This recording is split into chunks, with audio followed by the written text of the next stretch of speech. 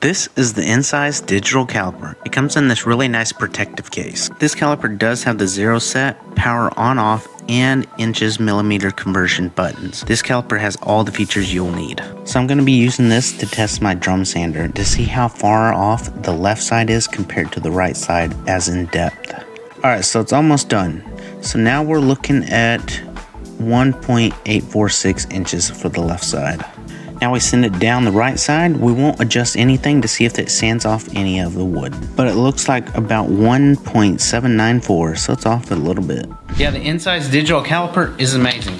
But the cherry on top is they actually include a certificate of inspection to guarantee that every measurement that you take will be accurate. So get yours today at penntoolco.com.